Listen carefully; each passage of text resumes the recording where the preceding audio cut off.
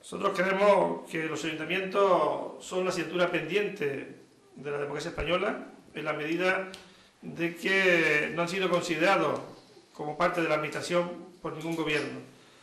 Eh, ningún gobierno central ha sido capaz de, de impulsar la legislación suficiente para que los ayuntamientos puedan jugar el papel de interlocutor más cercano al ciudadano. Y en concreto, a nosotros nos sorprende que de la misma manera que el Gobierno ha sido rápido y es muy sensible a la hora de aportar fondos para salvar a la banca, salvarla de sus propios fracasos, sin embargo con los ayuntamientos ha sido tremendamente timorato. Ha habido algún plan escaso y fundamentalmente dirigido a salvar la cara a los alcaldes, pero no ha habido realmente una planificación realmente para evitar que los ayuntamientos estén hoy en la ruina. Y por eso nosotros creemos que esta campaña es importante que pongamos sobre la mesa la necesidad de que realmente se resuelva de una vez por todas la financiación de los ayuntamientos. Es fundamental y así, en el programa Marco de Izquierda Unida es un elemento clave en esta campaña, que debatamos, que debatamos con el Partido Popular, con el Partido Socialista Obrero Español, para que de una vez por todas nos expliquen los motivos por los que ninguno de los dos, cuando han estado en el gobierno, ha sido capaces de resolver esta situación. Nosotros creemos, porque ambos partidos están muy cómodos, teniendo a los ayuntamientos como instrumentos subsidiarios y no como instrumentos fundamentales de la política. Por eso nosotros planteamos con toda contundencia que hay que ir a un plan de estructuración económica de los ayuntamientos, a un plan donde de una vez por todas se concrete la financiación de los ayuntamientos que le permita eh, cumplir con su papel de institución más cercana al ciudadano y también, y también que junto a esto evidentemente haya control y exigencia. No se trata de dar, de dar dinero porque sí, si se trata también luego también de que haya controles suficientes para que el dinero, evidentemente, no se valga. Por eso, nosotros creemos que estas elecciones son una magnífica ocasión para defender los derechos sociales, que no es un regalo de nadie, que no es fruto de una época de bonanza económica, que es otro error del gobierno Zapatero, que ha considerado derechos fruto de una bonanza económica y cuando, viene, cuando vienen las vacas flacas pues hay que recortarlo. Nosotros creemos que el derecho, al contrario, es fruto simplemente del reconocimiento al ser humano de una serie de, derechos. Por lo tanto, son unas elecciones fundamentales en las que no jugamos el mantenimiento de los derechos sociales.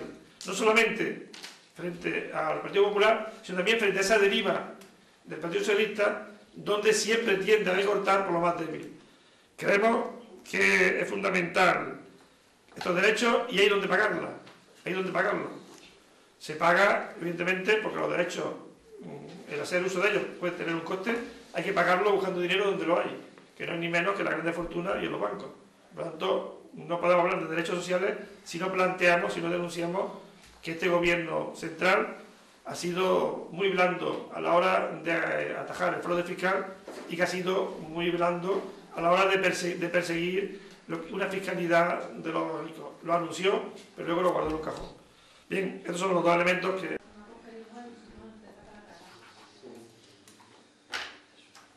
Eh, tengo el placer, el gusto y el honor de estar con dos excelentes compañeros y España, eh, José Luis Centella y Jesús Iglesias uno no tiene muchas oportunidades eh, de estar con, Desde nuestra candidatura Oviedo por la izquierda,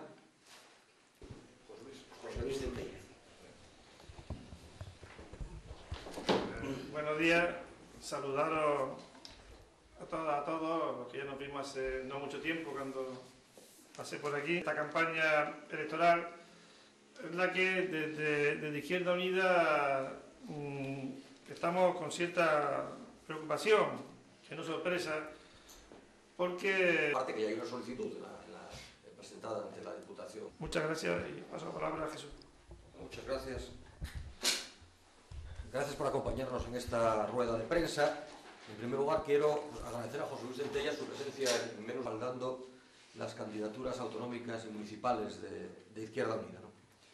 Eh, apuntado en algunas otras ruedas de prensa, que es que todo el mundo sabe que en Oviedo no hay mar, pero todo el mundo sabía también que la marea iba a llegar a bienestar, pero como garantía también del empleo imprescindible para tener un mínimo bienestar. ¿Preguntas?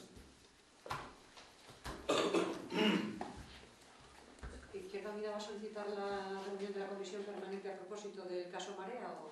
Nosotros lo que decimos es que tan pronto sea posible, porque lo que tampoco tendría mucho electoral por un elemento previo que sin duda está distorsionando esa campaña electoral. Faciliten información desde el gobierno de Asturias, según la línea editorial de los medios de comunicación, sin que haya una fecha ya para su comparecencia.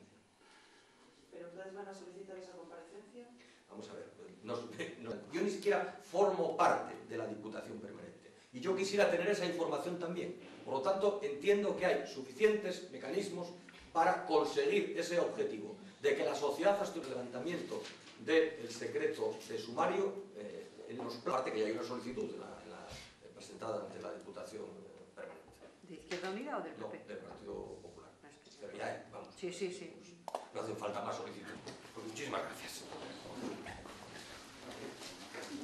Bueno, seguimos corriendo para la siguiente cita.